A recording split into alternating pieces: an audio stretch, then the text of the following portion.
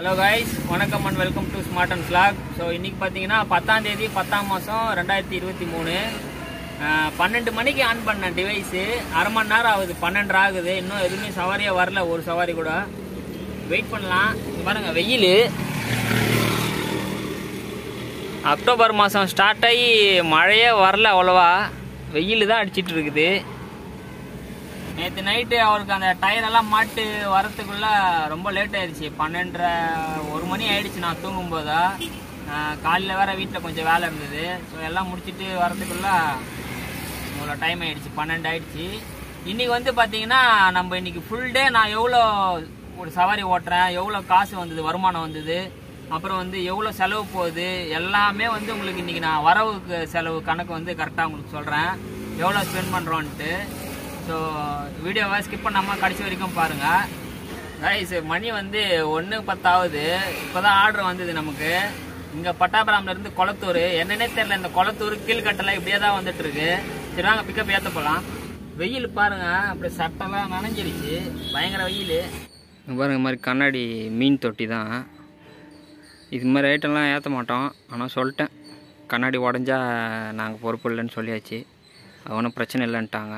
மேலே வந்து ஏற்றிட்டு போகிறோம் இரும்பில் ரேக்கு மாதிரி ஒன்று வருமா? அந்த ரேக் ஏற்றிட்டு கிளம்ப வேண்டியது தான் டைம் இப்போ ரெண்டு ஆகுது இங்கே பாருங்களேன் இருட்டின்னு வருது. இன்னைக்கு காலையிலேருந்து சரியான வெயில் சுருகில் நடிச்சுது. புழுக்கமாக இருந்தது. நம்ம க கிளம்பும் போதா இப்போ பாருங்கள் இருட்டிக்கிட்டு வருது லேசாக அந்த சைடெல்லாம் நல்லா இருட்டம் போல இருக்குது மழை வரும் கண்டிப்பாக போயிட்டுருக்கோம் கைஸ் நம்ம வந்துட்டோம் ட்ராப் லொக்கேஷனு கொஞ்சம் தூரம் மழை தூறல் போட்டுது. அப்புறம் பார்த்தா மழையே வரல. ரெண்டு மீன் தொட்டி ஒரு சேரு இந்த ரேக் ஒன்று கொஞ்சம் இந்த சில்லற ஐட்டங்கள்லாம் இருக்குது கஸ்டமர் வந்து வந்துட்டுருக்காராம். கஸ்டமர் வந்துட்டுருக்காராம். நீங்கள் சாப்பாடு வேணால் சாப்பிட்ருங்க நாங்கள் அதுக்குள்ளே வந்துடுறோன்னு இருக்காங்க. சாப்பாடு எடுத்துகிட்டு வந்திருக்கேன். நம்ம இப்போ வந்து லஞ்சு சாப்பிட்றலாம் டைம் பார்த்தீங்கன்னா ரெண்டே முக்கா. ஒரு முக்கால் மணி நேரத்தில் வந்துட்டேன். என்ன தான் கண்ணாடி பொருள் உடஞ்சா நான் பொறுப்பு இல்லைன்னு சொன்னாலும் ஒரு டிரைவராக நம்ம கடமை வந்து கொஞ்சம் பாதுகாப்பாக ஓட்டு வர்றது தான் அதனால் கொஞ்சம் பொறுமையாக தான் வந்தேன். முக்கால் மணி நேரத்தில் வந்துட்டேன். சரி வாங்க நம்ம லஞ்சு சாப்பிட்றலாம் இப்போ. அவர் சாப்பிட்டு வெயிட் பண்ணுங்க. நான் வந்துடுறேன் அப்படின்னாரு. கடைசியில் பார்த்தா ரெண்டே நிமிஷத்தில் இறங்கி வந்துட்டார். என்ன சார் அதுக்குள்ளே வந்துட்டீங்க அப்படின்னு கேட்டால் இல்லைங்க ஒரே தடவை இறக்கிட்டு ஒரேடியாக சாப்பிட்டுக்கலாம் அப்படின்னு வந்துட்டேன் சார் அப்படின்னாரு. சரி அப்புறம் எல்லாம் இறக்கிட்டு அப்புறம் பேமெண்ட் வாங்கிட்டு அது ஒரு முட்டு சந்து. அந்த சந்துலேருந்து கொஞ்சம் தூரம் வந்துட்டேன். வந்து இப்போது சாப்பிட உக்காந்துருக்கேன். இங்கே பாருங்கள் இது வந்து அரைக்கீரை. இது வந்து அவரக்காய். அவரைக்காவும் பெங்களூர் கத்திரிக்காவும் போட்டு பொரியல். இது வந்து கடையில் விற்கிற மசாலா வடை. பத்து ரூபாய்க்கு நாலு வடை. அவ்வளோதான் இதான் நம்மளுக்கு இன்றைக்கி லஞ்சு சரி சாப்பிட்டு கண்டினியூ பண்ணுறேன் நம்ம லாஸ்ட்டாக முடித்த சவாரிக்கு ஆறுநூறுபா வந்தது வாடகை. அவர் கொஞ்சம் கூட மாட ஹெல்ப் பண்ணதுக்கு நூற்றி ஐம்பது ரூபா எக்ஸ்ட்ரா கொடுத்தாரு. அப்புறம் இப்போ வந்து கரெக்டாக மூன்றரை மணி ஆகுது. நம்ம சாப்பிட்டு முடிச்சிட்டோம். அடுத்த ஆர்டர் வந்திருக்கு. இங்கே பக்கத்துல இருந்து ஏற்றிட்டு வண்ணரப்பேட்டை போனோம். ரெண்டே ரெண்டு பேப்பர் வரலாம் சரி வாங்க போய் ஏற்ற போகலாம் இந்த பாருங்கள் இவ்வளோதான் லோடு ரெண்டே ரெண்டு ரோடு வெயிட் ரொம்ப கம்மி. இந்த ரோடு பாருங்க. மூலக்கடையிலேருந்து இந்த குப்பமேடு ரோடுன்னு வாங்கல தண்டையார்பேட்டை. அந்த ரோடு இது அந்த மூலக்கடை ஜங்ஷன்லேருந்து நம்ம ரைட் எடுத்து வரா மாதிரி இருக்கும். அது ரொம்ப மோசமாக இருக்கும். இப்போ பார்த்தீங்கன்னா சூப்பராக போட்டிருக்காங்க ரோடு அருமையாக இருக்குது அந்த மூலக்கடையிலேருந்து சல்லுன்னு வந்துடலாம். என்ன ஒன்று இப்போ நம்ம இப்படியே போனீங்கன்னா தண்டையார்பேட்டை அந்த ரயில்வே தண்டவாளம் வரும். அது மட்டும் அந்த தண்டவாளம் மட்டும் போட்டாங்களா என்னன்னு தெரியல. ஆனால் அது போட்டிருந்தாங்கன்னா நம்ம நேராக கேட்டு தாண்டி போயிடலாம். இல்லைன்னா நம்ம லெஃப்ட் எடுத்து போகிற ஊரை சுற்றிட்டு போகிற மாதிரி இருக்கும். கிட்ட போய் பார்த்தா தான் தெரியும். அது வந்து ரயில்வே மேம்பாலம். ஆக்சுவலாக அந்த ட்ராக் போயிட்டுருக்கு. அந்த தண்டவாளத்துலேருந்து மேம்பாலம் மாதிரி பிரிட்ஜு போடுறாங்க. அது எப்படி எனக்கு இப்போ தெரிஞ்சு இப்போ முடியாதுன்னு தான் நினைக்கிறேன். நம்ம வந்து சுற்றிட்டு போகிற மாதிரி தான் இருக்கும். சின்ன சின்ன சந்தா திரும்பும். அதனால் வீடியோ எடுக்க முடியாது. நான் அதுக்கப்புறம் கண்டினியூ பண்ணுறேன் பாருங்க அந்த பக்கம் பிரிட்ஜி கட்டுறதுனால நம்ம இந்த பக்கம் தான் போகிறோம் இந்த பிரிட்ஜு வேலை நடக்குதுன்னு லெஃப்ட் கட் பண்ணி உள்ளே உள்ளே வந்தால் வழி எல்லா வழியும் பள்ளம் தோண்டிட்டு இருக்காங்க. இது பாருங்க இது வேறு இந்த வண்டி வேறு முன்னாடி போயிட்டே இருக்குது கடுப்பாக இருக்குங்க. நாலு கிலோமீட்டரில் முடிய வேண்டிய சவாரி ஆறு கிலோமீட்டர் ரெண்டு கிலோமீட்டர் நம்ம இப்போ எக்ஸ்ட்ரா சுற்றுறோம் இதுலேயே. அதுவும் சந்து சந்தாக இருக்குது வாங்க எடுத்துட்டோம் முடிச்சிருவோம். நாம் அந்த ரோல் சவாரி முடிச்சிட்டோம். முடிச்சிட்டு இப்போ அடுத்து ஒரு பிக்கப் இங்கே வனரப்பேட்டையிலேருந்து ஏற்றிட்டு பாரிஸ் ஜார்ஜ் டவுன் போனோம். பாருங்க நம்ம வந்து கொருக்குப்பேட்டை ரயில்வே ஸ்டேஷன் ட்ராக்கு கிட்ட நிற்கிறோம் கேட் ஓப்பன் பண்ணால் தான் நம்ம போய் ஏற்ற முடியும். வனரப்பேட்டை போய் பிக்கப் பண்ணிவிட்டு பாரிஸ் பாரிஸில் வந்து ரத்தன் பஜார் தெரு. கொஞ்சம் மாதத்துக்கு முன்னாடி இந்த கேட்டு கிட்ட வரும்போது தான் இங்கே தான் பக்கத்தில். அந்த இடத்துல அந்த இடத்துல வந்து டயரில் பெரிய க ஆணி மாதிரி ஏறிடுச்சு. ஏறிட்டு பஞ்சர் ஆகிட்டு ரொம்ப கஷ்டப்பட்டேன். டயரை கழட்ட முடியாமல் இப்போ வாங்க பிக்கப் ஏற்ற போகலாம் இந்த கேட் ஓப்பன் பண்ணால் தான் நம்ம போக முடியும். நான் அந்த சவாரி கேன்சல் பண்ணிட்டேங்க. போன ட்ரிப்பில் வந்து நம்ம ஏற்கனவே ஒரு ரெண்டு கிலோமீட்டர் எக்ஸ்ட்ரா சுற்றிட்டோம் இப்போ இந்த ட்ரிப்பு போட்டாங்களே பிக்கப் பார்த்தீங்கன்னா வண்ணாரப்பேட்டை பழைய வண்ணாரப்பேட்டை டு பாரிஸ் போட்டிருந்தாங்களே. அது ஆக்சுவலாக பழைய வண்ணாரப்பேட்டை இல்லை கொண்டித்தோப்பு வரணுமா? அட்ரஸ் போட தெரியாமல் போட்டிருக்காங்க. அவங்களுக்கு தெரியல. லொக்கேஷன் வாட்ஸ்அப்பில் அனுப்புங்கன்னு கேட்டால் அதுவும் அனுப்ப மாட்டேன்றாங்க. அதுவும் தெரியல. வயசானவங்க போல இருக்கு. அப்புறம் நாலு மூணு கிலோமீட்டர் இருக்குன்னு நம்ம சுற்றி சுற்றி போய் தான் பிக்கப் லொக்கேஷனுக்கே போயிட்டேன். போனதுன்னே பார்த்தீங்கன்னா சின்ன சந்து தான் அது. குட்டி குட்டி சந்தா திரும்பி திரும்பி திரும்பி திரும்பி போனேன். பார்த்தா திருப்பி அங்கேருந்து கொண்டித்தோப்பு போனோன்னா நம்ம இன்னொரு அரை மணி நேரம் கிட்ட ஆகிடும் அதனால் கஸ்டமர் கேர் கால் பண்ணி அட்ரஸ் தப்பாக போட்டிருக்காங்க. லொகேஷன் கரெக்டான லொக்கேஷன் சொல்ல மாட்டாங்கன்னு சொல்லி கேன்சல் பண்ணியாச்சு.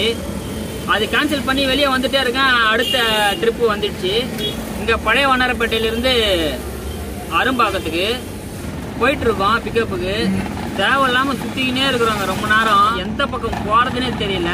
நம்ம இருக்கிறதே இந்த ஏரியானா நம்மளுக்கு வந்து ரூட்டுங்க தெரியும்.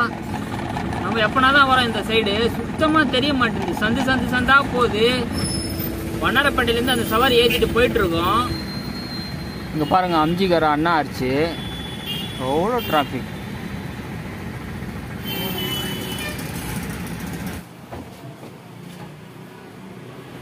அந்த சவாரி இறக்கி முடிச்சிட்டோம். இப்போ வந்து பார்த்தீங்கன்னா கோயம்பேடு கிட்ட வந்திருக்கோம். அந்த சந்தில் இருந்து அது எல்லாமே இன்னைக்குன்னா பார்த்தீங்கன்னா ஃபுல்லாக சந்து சந்தாக போகுது. ரெண்டாவது ஃபுல் டிராஃபிக் இங்கே பாருங்கள் பாருங்கள் பயங்கர டிராஃபிக்கு ஹெவியாக இருக்குது இப்போ என்னாச்சுன்னு பார்த்தீங்கன்னா என் ஃப்ரெண்டுக்கு கொஞ்சம் காசு கொடுக்கணும் நான். என்னென்னு பார்த்தீங்கன்னா இன்றைக்கி ஃபுல்லாக நம்ம இந்த மாதிரி டிராஃபிக்லேயே சுற்றிக்கிட்டு இருக்கோம். என்கிட்ட கேஷாக இருக்குது டெபாசிட் பண்ணலான்னு பார்த்தா ஒரு ஏடிஎம் கூட இல்லை. ஒரு ரெண்டு மூணு கிலோமீட்டராக நான் சுற்றி சுற்றி வந்துக்கிட்டே இருக்கேன். அம்ஜிகரை அரும்பாக்கத்தில் முடித்தோம் அந்த சவாரி. அப்படியே யூட்டர்ன் பண்ணி யூட்டர்ன் பண்ணி பார்த்துக்கிட்டே இருக்கேன். ஏடிஎம்மும் கிடைக்கல. சரி வாங்க பார்க்கலாம். அதனால் ஏடிஎம் இருந்தால் கேஷ் முதல்ல டெபாசிட் பண்ணணும். போட்டது ஆப் ஆஃப் பண்ணிட்டேன். பார்க்கலாம். நிறைய டைம் வந்து நம்மளுக்கு டிராஃபிக்லேயே போயிடுச்சு. வேஸ்ட்டாக ஒரு ரெண்டு மூணு மணி நேரம் கிட்ட நம்மளுக்கு டிராஃபிக்லேயே இன்னைக்கு ஃபுல்லாக நாள் போயிடுச்சு. ஒரு வழியாக ஏடிஎம் தேடி கண்டுபிடிச்சி கேஷ் போட்டு விட்டாச்சுங்க. சரி வாங்க இப்போ ஆன் பண்ணலாம். மணி எட்டு ஆயிடுச்சு. டைம் இப்போ எட்டராகுதுங்க எதுவும் சவாரியாக வரல. இங்கே கரெக்டாக நம்ம விருகம்பாக்கத்தில் இருக்கோம். இப்போ இங்கேருந்து மூவ் பண்ணி நம்ம அண்ணா நகர் பக்கம் போயிடலாம். அங்கே அண்ணா நகர் போயிட்டு ஒரு ஹாஃப் அன் ஹவர் பார்க்கலாம். வரலன்னா வீட்டுக்கு போயிடலாம். அவ்வளோதான் டைம் இப்போ ஒன்பதே கால் ஆகுதுங்க. நான் வந்து கோயம்பேடுலேருந்து அண்ணா நகர் வழியாக வந்து இங்கே அம்பத்தூர் டெலிஃபோன் எக்ஸ்சேஞ்ச் பிரிட்ஜு கிட்ட வந்துட்டேன். ஏன்னா ஒன்றும் வரல. ஒன்பதே கால் ஆயிடுச்சு. இதுக்கு மேலே ஒன்றும் வராது. இங்கே பாருங்க அம்பத்தூர் எஸ்டேட்டில் வந்து டெலிஃபோன் எக்ஸ்சேஞ்ச் பிரிட்ஜு கீழே நிற்கிறோம் நான் மதியானம் லஞ்சு சாப்பிட்டது. அதனால் வந்து இங்கே ஹாப்பி ஃபுட் ஸ்ட்ரீட்னு சொல்லிட்டு ஒரு இது இருக்குது அங்கே போய் ஏதாச்சும் சாப்பிட்லாம். எதுவுமே சாப்பிடல. ஒரு டீ கூட குடிக்கல. இங்கே பாருங்கள் என் கையில் இருந்த பட்ஜெட்டுக்கு இந்த பாதாம் ட்ரிங்க் தான் வாங்க முடிஞ்சுது. இது ஒரு நாற்பது ரூபா. மற்றபடி எல்லா ஐட்டங்களும் இருக்குது ஆனால் கொஞ்சம் ரேட் அதிகமாக இருக்கிற மாதிரி இருக்குது நம்ம பட்ஜெட்டுக்குள்ளே அடங்கலை. போய் சாப்பிட்லாம். ஒரு நாள் பட்ஜெட் இருக்கிறப்போ நல்லா சாப்பிட்லாம். இப்போதைக்கு இந்த ஜூஸை குடிப்போம். நாம் பார்த்தீங்கன்னா மதியம் ஒரு மணிக்கு ஆன் பண்ணோம் டிவைஸு ஸோ ஒரு மணிக்கு ஃபஸ்ட்டு பிக்கப் வந்து ஒன்றரை மணிக்கு போய் பிக்கப் பண்ணி எடுத்தோம். அப்படி கணக்கு பண்ணால் ஆஃப் டே கணக்கு தான். இங்கே பாருங்கள் பட்டாபுராம்லேருந்து ஏற்றிட்டு குளத்தூர் அப்புறம் கொடுங்கையூர்லேருந்து வண்ணாரப்பேட்டை அப்புறம் வண்ணாரப்பேட்டை டு அரும்பாக்கம். ஸோ இதுதான் நம்ம மூணு ட்ரிப்பு ஓட்டியிருக்கோம். மொத்தமாக வந்து ஆயிரத்தி அறநூற்றி எழுபத்தாறு ரூபாய் ஓட்டியிருக்கோம். அதில் போர்ட்டருக்கு இரநூத்தோருபா கமிஷன் போக நம்மளுக்கு வந்து ஆயிரத்தி நானூற்றி எழுபத்தஞ்சு ரூபா கிலோமீட்டர் வந்து எழுபத்தி ஏழு கிலோமீட்டர் ஓடி மொத்தம். ஸோ இதுதாங்க இன்றைக்கி நம்ம ஓட்டினது. இது வச்சு நம்ம வந்து கணக்கு பண்ணிக்கலாம். எல்லா நாளும் இப்படியே ஓடணும் கேட்டிங்கன்னா கிடையாது. நீங்களே பாருங்கள் நான் இது வந்து இந்த புக்கு பாருங்கள் இது ஒரு புக் ஆச்சுங்களா? இங்கே பாருங்கள் நான் எல்லாமே வந்து நோட் பண்ணி விற்பேன் இந்த பேகும் ஒரு நாள் வந்து இந்த பேக்கு ஃபுல்லாக பிரித்து இந்த பேக்கு உள்ள என்ன தான் வச்சுருக்கேன் நான்ன்றதே உங்களுக்கு காட்டுறேன். இது வந்து பழைய புக்கு இது ஃபுல்லாகி முடிஞ்சே போயிடுச்சு. பாருங்கள் அப்போல்லாம் பாருங்கள் ரேட் எவ்வளோ கம்மியாக ஓட்டியிருக்கேன். முந்நூறுரூவா இது வந்து கிலோமீட்ரு. என் கைக்கு வண்டி கிடைக்கும் போதோ வண்டி கிலோமீட்டர் ஓடினது வந்து இரநூத்தி எண்பத்தஞ்சு தான் ஸ்டார்டிங். இங்கே பாருங்கள் ஸ்டார்டிங் கிலோமீட்டர். இரநூத்தி எண்பத்தஞ்சு. வண்டி எடுத்து ஃபஸ்ட்டு ஃபஸ்ட்டு நாள் ஓட்டினது வந்து தொள்ளாயிரரூபா ஓட்டியிருக்கேன். இருபத்தி ஒன்பது கிலோமீட்டர் போயிருக்கு வண்டி. இது வந்து பழைசு. இந்த புக்கு ஃபுல்லாகவே முடிஞ்சு போச்சு. எடுத்து வச்சுருவோம். இது பார்த்திங்கன்னா இப்போ புது புக்கு. இதுதான் வண்டி எடுத்து நான் ஆறரை வருஷமாக ஓட்டின சவாரிங்கோ. ஆறரை வருஷம் ஆறரை வருஷம்னு சொல்கிறேன் ஆனால் வந்து நான் வண்டி ஓட்டினது பார்த்தீங்கன்னா ஒரு நாலு வருஷம்தான். ரெண்டு வருஷம் போயிடும். ஏன்னு கேட்டிங்கன்னா கொரோனா லாக்டவுனில் ஒரு ஒரு வருஷம் போயிடுச்சு. வண்டி ஓட்டவே இல்லை. அதுக்கப்புறம் வண்டி எனக்கு அடிக்கடிக்கு ரிப்பேர் ஆகி நிற்கும் போது அப்புறம் எஃப்சி பண்ணும்போதெல்லாம் காசு இல்லாமல் எஃப்சி பண்ணாமல் அப்படியே விட்டுருவேன். ஆறு மாதம் அந்த மாதிரி நின்றுடும். அப்புறம் வீட்டில் கொஞ்சம் ஃபினான்ஷியல் ப்ராப்ளமால் வண்டி எடுக்கவும் முடியல. அதுக்கு ஒரு ஆறு மாதம் அப்படி நின்றுச்சு வண்டி. ஸோ எல்லாம் கணக்கு போட்டு பார்த்தா ஒரு ரெண்டு வருஷம் நான் வண்டியை ஓட்டல. நாலு வருஷம் தான் ஓட்டியிருக்கேன். இப்போது இதில் நான் உங்களுக்கு காட்டுறேன் பாருங்கள் டீசல் போட்டுட்டு நோ சவாரிஸ் வேஸ்ட்டு இந்த மாதிரி போட்டுக்கினீங்கன்னா கரெக்டாக இருக்காங்க. இங்கே பாருங்க பதிமூணாந்தேதி ரெண்டாயிரத்தி எட்நூறுபா. ஆயிரத்தி அறநூறு. மூவாயிரரூபா ஓட்டியிருக்கோம். அஞ்சு சவாரி எடுத்திருக்கோம். எழுநூறுபா டீசல் போட்டிருக்கோம். அப்புறம் வந்து இங்கே பாருங்கள் டோட்டலாக எல்லாம் ஏதோ பர்சனல் சவாரி எல்லாம் எடுத்திருக்கேன். இங்கே பாருங்கள் பர்சனல் சவாரி from Keelkattalai pickup to Kundrathur. இங்கேயும் கீழ்கட்டளை நம்மக்கிட்ட வந்துச்சுங்க.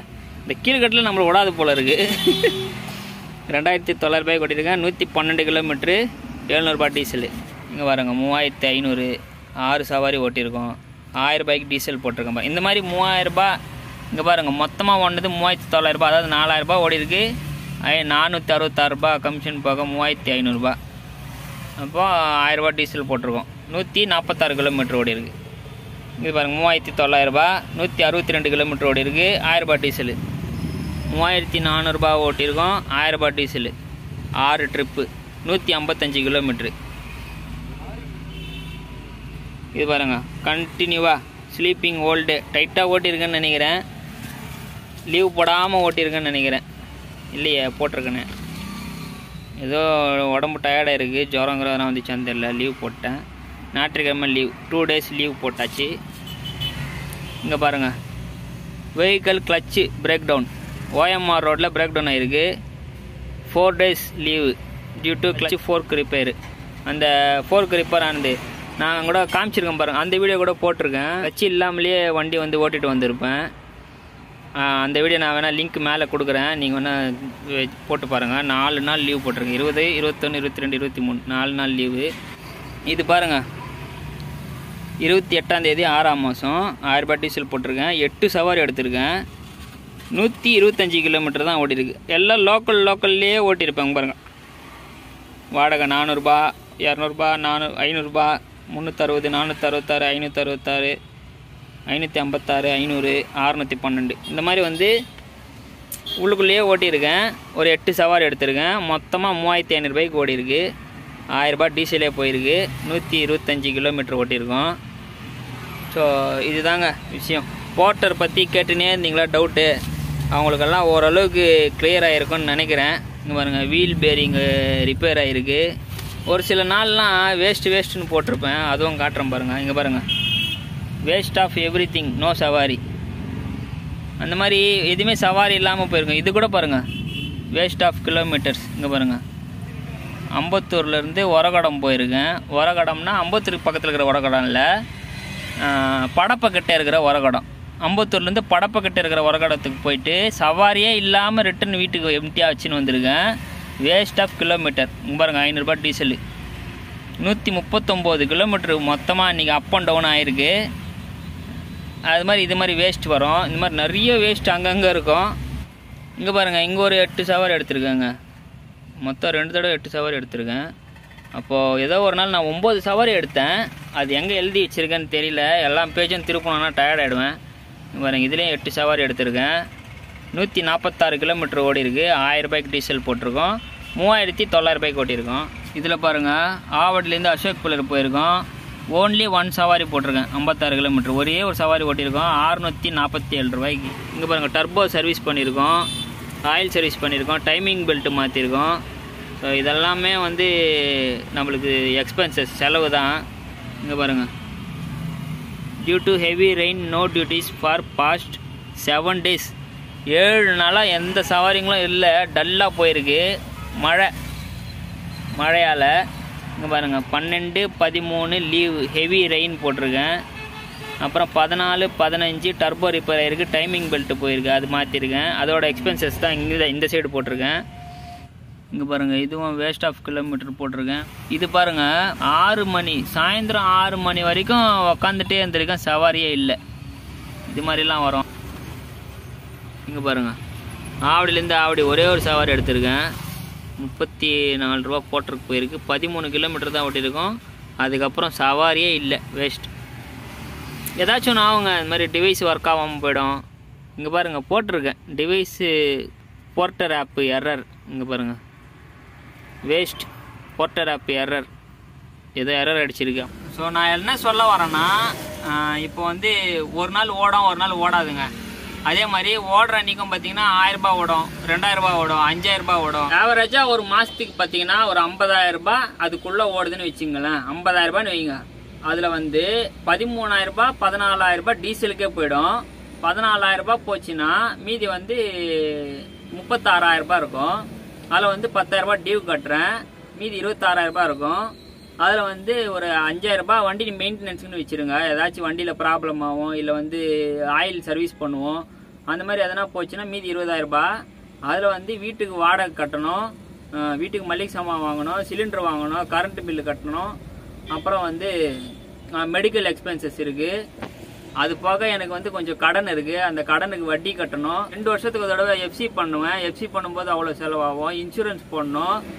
பொல்யூஷன் டெஸ்ட் எடுத்து வச்சுக்கணும். பொல்யூஷன் டெஸ்ட் வந்து இந்த போட்டருக்கு கண்டிப்பாக தேவை. ஏன்னா பெரிய பெரிய கம்பெனிங்க இண்டஸ்ட்ரியல் ஏரியாக்கெல்லாம் போனீங்கன்னா உள்ள பொல்யூஷன் டெஸ்ட் கூட கேட்பாங்க கம்பல்சரி ஸோ அது எக்ஸ்பைர் ஆயிடுச்சுன்னா அது பொல்யூஷன் போட்டு வைக்கணும் ஸ்பீடு கவர்னர் சர்டிஃபிகேட் வாங்கணும். ஸ்பீடு கவர்னர் வந்து ஆர்டிஓ ரூல்ஸ் படி நம்ம வண்டி வந்து எண்பது தான் போகணும். எண்பதில் தான் போவோம் இப்போ வரைக்குமே.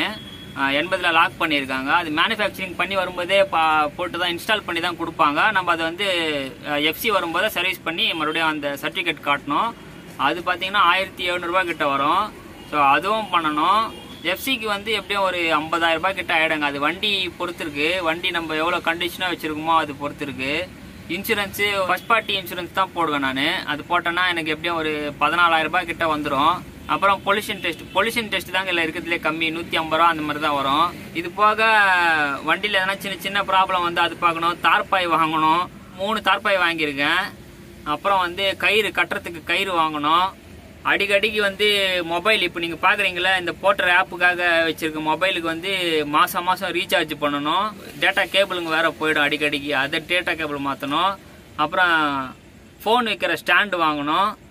ஸ்டாண்ட் இல்லைன்னா கூட பரவாயில்ல அட்ஜஸ்ட் பண்ணிக்கலாம். இந்த மாதிரி சில்லற சில்லறையாக நிறைய செலவு ஆகிட்டே இருக்குங்க. டிரைவிங் ஃபீல்டை பொறுத்த வரைக்கும் நிறைய செலவு ஆகிட்டே தான் இருக்கும். பார்க்குறவங்களுக்கு வந்து வண்டி ஓட்டுறாங்க நிறைய சம்பாதிப்பாங்க. இவ்வளோ வாடகை கேட்குறான் அப்படி வாடகை கேட்குறான்னு நினைப்பாங்க. ஐம்பதாயிரம் ரூபாய் சம்பாதிக்கிறோம். மொத்தமாக எல்லாம் போக ஒரு பத்தாயிரம் ரூபாய் மீறுதுன்னா நம்மளுக்கு செலவு பார்த்தீங்கன்னா இருபத்தஞ்சாயிரம் ரூபாய் முப்பதாயிரம் ரூபாய்க்கு செலவு இருக்கும். அதாவது மைனஸ் இருபதில் போவோம் நம்மளுக்கு. எல்லாம் வந்து ஜீரோலேருந்து ஸ்டார்ட் பண்ணோன்னுவாங்க. நம்ம டிரைவருங்களை பொறுத்த வரைக்கும் நம்மலாம் மைனஸ்லேருந்து ஸ்டார்ட் பண்ணணும். ஸோ அவ்வளோ கஷ்டம். மைனஸ்லேருந்து அதை கொஞ்சம் கொஞ்சமாக கட்டிட்டு வரணும். அதுவும் மிடில் இப்போ இருக்கிற காலகட்டத்துக்கு நம்மளுக்கு எவ்வளோ இருந்தாலும் பத்த மாட்டேங்குது காசு. வரவு செலவுன்னு பார்த்தீங்கன்னா இப்படி தாங்க போயிட்டுருக்கு. என்னை பொறுத்த வரைக்கும் மற்றவங்களுக்கு எப்படின்னு தெரியல. இதில் வந்து ஒரு அட்வான்டேஜ் என்னன்னா உங்கள் வண்டி டியூவில் இல்லைன்னா உங்களுக்கு வந்து நல்ல பெனிஃபிட்டுங்க இப்போ இருக்கிறதுக்கு நான் ஒரு சின்ன இது மாதிரி ஒன்று சொல்கிறேன் நம்ம வந்து மேக்ஸிமம் எதுவும் இஎம்ஐயில் எடுக்கக்கூடாதுங்க. இஎம்ஐயில் எடுத்தோன்னா நம்மளுக்கு காசு எப்படி போகுதுன்னே தெரியாது போயிடும். இஎம்ஐயில் எடுக்கக்கூடாது. அப்புறம் வந்து ஃபைனான்ஸ் வாங்கக்கூடாது. லோனோ ஃபைனான்ஸோ அந்த மாதிரி எதுவும் வாங்கக்கூடாது. அதெல்லாம் வாங்குனீங்கன்னா வண்டி வச்சு எதுவுமே பண்ண முடியாது. சொந்த வண்டி ஃபுல்லாக நெட் கேஷ் கொடுத்து நீங்கள் சொந்தமாக வண்டி எடுத்துட்டிங்கன்னா தாராளமாக ஓட்டலாம். அதே மாதிரி டிரைவர் போட்டு ஓட்டினீங்கன்னா டிரைவருக்கு சம்பளம் தரணும். இப்போ நீங்கள் வண்டி ஓட்டுறீங்கன்னா சொந்தமாக வண்டி நீங்கள் ஃபோனாக ஓனாக நெட் கேஷ் கொடுத்து வண்டி எடுத்துட்டிங்கன்னா ஓட்டுறதெல்லாம் உங்களுக்கு லாபம் தான். நீங்கள் அழகாக ஓட்டி எடுத்துடலாம். ஒரு ரெண்டு வருஷம் மூணு வருஷத்தில் நீங்கள் வாங்கின காசை எடுத்துடலாம். இது என்னென்னு நீங்கள் யோசிச்சிருக்கலாம். நிறைய பேர் கெஸ் பண்ணியிருப்பீங்க இதெல்லாம் வந்து பார்த்தீங்கன்னா நான் போட்ட டீசல் பில்லு கொஞ்சம் தான். இது வந்து கோயம்பேடு மார்க்கெட்டு ரசீது. இது வந்து டீசல் பில்லு இன்னொன்று காட்டுறேன் பாருங்கள் உங்களுக்கு. நம்ம டிரைவர் நம்பர்களுக்கு தெரியும். இங்கே பாருங்கள் இது என்னன்னு சொல்லுங்கள் பார்க்கலாம். அப்படியே பாஸ் பண்ணிவிட்டு கமெண்ட்டில் போய் பண்ணுங்கள் இது என்னன்னு சொல்லுங்கள் இது. இது வந்து போலீஸ் கேஸு போட்ட பில்லுங்க. இங்கே பாருங்கள் எவ்வளோ கேஸ் போட்டிருக்கோம் பாருங்கள் இன்னும் இருக்குது இன்னும் இருக்குது இதாக இருக்குது பாருங்கள் இன்னும் இருக்குது இதாக பாருங்கள் இதெல்லாம் வந்து டீசல் பில்லு. இந்த பின் போட்டிருக்கிறது வந்து டீசல் பில்லு. இதை விட்ருங்க இதெல்லாம் போலீஸ் கேஸு. இதுவும் டீசல் பில்லு. குப்பெல்லாம் வச்சுருக்கேன். அதே மாதிரி வேமெண்ட் போட்டது இருக்குது இங்கே பாருங்கள் இது போலீஸ் கேஸ் இது போலீஸ் கேஸ் இங்கே இருக்கு பாருங்கள் இதெல்லாமே கூட வந்து இதுங்க பாருங்கள் சென்னை டிராஃபிக் போலீஸ் இவ்வளவும் போலீஸ் கேஸுங்க இவ்வளவும். ஓவர் ஹைட்டு அதே மாதிரி ஓவர் லென்த்து அந்த மாதிரி தான் இருக்கும். காக்கி சட்டை இல்லாமல் இருக்காது. என் வண்டியில் ரெண்டு காக்கி சட்டை வச்சுருப்பேன். இங்கே பாருங்கள் பேண்ட்டு கூட காக்கி பேண்ட் போட்டிருக்கேன். காக்கி சட்டை இப்போ வேத்து கொட்டுதுன்னு இது கட்டி வச்சுருக்கேன். போகும்போது திருப்பி போட்டுப்பேன். மேக்ஸிமம் நான் வந்து ஓவர் லென்த்து ஓவர் ஹைட் ஏற்றுனாங்கன்னா சொல்லிவிடுவேன் கஸ்டமருங்கிட்ட கேஸ் போடுவாங்க அப்படின்னு சொல்லிவிடுவேன் போட்டால் அவங்க பில்லு கொடுத்துடணும். பில்லு கொடுத்துட்டோன்னா காசு கொடுத்துருவாங்க. அப்படி இருந்தால் மட்டும்தான் அந்த சவாரி ஏற்றுவேன் இல்லைனா ஏற்ற மாட்டேன். ஏற்ற முடியாதுன்னே சொல்லிவிடுவேன் police case toll bill payment எல்லாமே வந்து கஸ்டமர் தான் கொடுக்கணும். இதெல்லாம் தாண்டி வண்டி ஓட்டணும். டிராஃபிக்கில் வண்டி ஓட்டணும். அதே மாதிரி யாருன்னா இடிச்சிருவாங்க நம்ம யாருன்னா போய் இடிச்சிருவோம். கஸ்டமர் வந்து ஒருத்தவங்க புக் பண்ணுவாங்க. ஆனால் கால் பண்ணுறது பார்த்தீங்கன்னா யார் யாரோ கால் பண்ணுவாங்க. ப்ரோ வண்டிங்களான்னுவாங்க. நீங்கள் யார் சார்னு கேட்டால் வண்டி புக் பண்ணாங்களே அவங்களோட ஆள் தான் பேசுகிறேன் அப்படின்னுவாங்க. அவர் இன்னொருத்தர் நம்பர் கொடுப்பாரு அவர் இன்னொருத்தர் நம்பர் கொடுப்பாரு. அட்ரஸ் தப்பாக போட்டுருவாங்க. இல்லையே ஏற்ற முடியாத பொருளெல்லாம் வச்சுட்டு ஏற்றுங்க ஏற்றுங்கன்னுவாங்க இந்த மாதிரி நிறைய கஷ்டம் இருக்குங்க. நான் எல்லாமே வந்து நீங்கள் டெய்லி என் வீடியோஸ் பார்த்தீங்கன்னா ஒரு ஒரு நாளும் உங்களுக்கு ஒரு ஒரு இன்சிடென்ட் சொல்றேன். ஒரே வீடியோல எல்லாத்தையும் ஸ்டப் பண்ண முடியாது. முடிஞ்ச வரைக்கும் நான் ஷார்ட் அண்ட் ஸ்வீட்டாக சொல்ல பார்க்குறேன் வீடியோவை டெய்லி பாருங்க. நான் வந்து மேக்ஸிமம் ஒரு நாளோ இல்லை ரெண்டு நாளைக்கு ஒரு தடவை இல்லை வாரத்துக்கு ஒரு வீடியோவாவது கண்டிப்பாக போட பார்க்குறேன் நீங்கள் பார்த்தீங்கன்னா ஒரு ஒரு நாளுமே நம்ம எவ்வளோ எவ்வளோ கஷ்டப்படுறோம். கஷ்டன்றதை தாண்டி இதை வந்து நம்ம ஒரு ஒரு நாளைக்கு என்னென்ன மாதிரி எல்லாம் இருக்குது ஒரு ஒரு நாள் எப்படி எப்படி போகுது என்னென்னலாம் பிரச்சனைகள் வருது அதெல்லாம் நம்ம எப்படி ஃபேஸ் பண்ணுறோன்றதை பார்க்கலாம். மேக்ஸிமம் பாசிட்டிவ் வேலை நல்ல வழியில் கொண்டு போகிற கொண்டு போக பார்க்குறேன் இப்போ இதில் நம்மளுக்கு என்ன ஒரு அட்வான்டேஜ்னா நம்ம உக்காந்தோமா நம்ம சவாரி ஓட்டினோமா பிடிக்கலையா உடம்பு சரியில்லையா ஆஃப் பண்ணிட்டு வீட்டுக்கு போயிடலாம் அதே மாதிரி நம்மளுக்கு ஏதாச்சும் வீட்டில் வேலை இருக்குது லீவ் போடணும்னா நம்ம நம்ம இஷ்டத்துக்கு லீவ் போட்டுக்கலாம் நம்ம இஷ்டமாக இருக்கலாம். இப்போ பாருங்கள் இவ்வளோ நேரம் இங்கே உட்காந்து பேசுகிறேன் என்ன ஒன்று சவாரியில் இருக்கும்போது நம்மளால் எதுவும் பண்ண முடியாது. அந்த சவாரி முடிச்சுட்டு ஒழுங்காக அந்த சவாரி கொண்டு போய் சேர்க்குற பொருளை பத்திரமா கொண்டு போய் சேர்த்துட்டு அதுக்கப்புறம் நம்ம என்ன வேணாலும் பண்ணிக்கலாம். ஜாலியாக இருக்குங்க. நான் மேக்ஸிமம் ஃபன்னாக இருப்பேங்க. இந்த வீடியோ இப்போல்லாம் தான் கொஞ்சம் யூடியூப்காக கொஞ்சம் வந்து நான் டைம் ஸ்பெண்ட் பண்ணவே முடியல. இங்கே பாருங்கள் காலையில் ஆன் பண்ணுவேங்க. காலைல ஆன் பண்ணிவிட்டு அப்படியே வருவேன். வந்து ஆன் பண்ணிட்டு வச்சுட்டு உக்காந்துட்டே இருப்பேன். சவாரி வந்தால் பார்ப்பேன். வந்தால் எடுப்பேன். ட்ராவல் பண்ணிட்டு ஜாலியாக இருக்கேங்க. அப்படி டிராஃபிக்கையும் பார்த்துக்கிட்டு ஒரு மாதிரி நம்மளுக்கு ஒரே இடமா உட்காந்துருக்கிற மாதிரி நம்மளுக்கு வேலை செய்ய முடியாது. என்னால் எனக்கு இது எனக்கு இந்த வேலை தான் பிடிச்சிருக்கு. அது கூட எனக்கு இதில் யூடியூப்பில் ஒரு இன்ட்ரெஸ்ட் இருக்கிறதுனால அதையும் இதையும் சேர்த்துட்டேன். ஸோ வந்து உங்களுக்கு வீடியோ பிடிச்சிருக்கோன்னு நினைக்கிறேன். இங்கே பாருங்கள் இந்த மாதிரி பாக்ஸ் வச்சுருப்பேன் சவுண்ட் பாக்ஸு இந்த பாக்ஸில் வச்சு பாட்டு கேட்டுட்டு ஸோ ஜாலியாக இருக்கும். அதுவும் வந்து மேக்ஸிமம் ஒரு பத்து சவாரி வருதுன்னா எட்டு சவரில் கஸ்டமர் வர மாட்டாங்க ஒரு ரெண்டு சவரில் தான் வருவாங்க. பர்சனலாக புக் பண்ணுவாங்க பார்த்தீங்களா இந்த வீடு காலி பண்ணுறது அவங்களுக்குன்னு ஓன் யூஸில் இருக்கிறவங்க மட்டும் ஆள் கஸ்டமர் வருவாங்க. இந்த கம்பெனி இண்டஸ்ட்ரியல் ஏரியாக்கெல்லாம் போகிற மெட்டீரியலெல்லாம் வந்து ஏற்றி விட்டு போய் இறக்கி விட்டுருப்பான்ருவாங்க. இப்போ நம்ம தனியாக போவோமா? இந்த பாக்ஸில் பாட்டு போட்டுருவோன்னா போட்டு ஏன்னா எதனா ஸ்நாக்ஸு சுண்டல் கிண்டல் வாங்கி வச்சுட்டு அப்படி சாப்பிட்டுக்கிட்டே பாட்டு கேட்டுக்கிட்டே போனால் சூப்பராக இருக்கும். அப்புறம் வந்து இது மாதிரி ஜாலியாக ஃபன்னாகவும் இருக்கும். நிறைய விஷயங்கள் ஃபன்னாகவும் நடக்கும். ஒரு ஒரு நாள் சவாரி எப்படி போகுதுன்னே தெரியாது. டைம் பாஸ் ஆகிடும் நினச்ச நேரத்துக்கு டீ சாப்பிட்லாம். ஜூஸ் சாப்பிட்லாம். நம்ம விருப்பமாக இருக்கலாங்க. இதில் என்னென்னா நம்ம வந்து நல்லதை மட்டும் எடுத்துக்கலாம். ஸோ உங்களுக்கு இந்த வீடியோ பிடிச்சிருக்கோன்னு நினைக்கிறேன். ஸோ அடுத்த வீடியோவில் வந்து உங்களை பார்க்குறேன். வீடியோவை கடைசி வரைக்கும் பார்த்ததுக்கு ரொம்ப நன்றி. Thank you so much